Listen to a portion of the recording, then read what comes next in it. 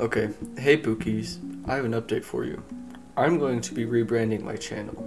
As you know, my YouTube name is The Babooey, but you see, that name is a reference to the Baba Booey meme. The name has its own backstory, but that isn't important.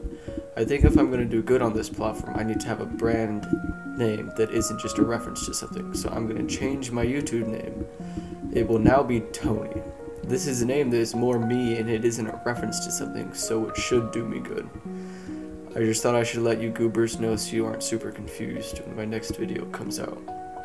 Okay, that's all. Bye bye now. Subscribe if you want, I guess.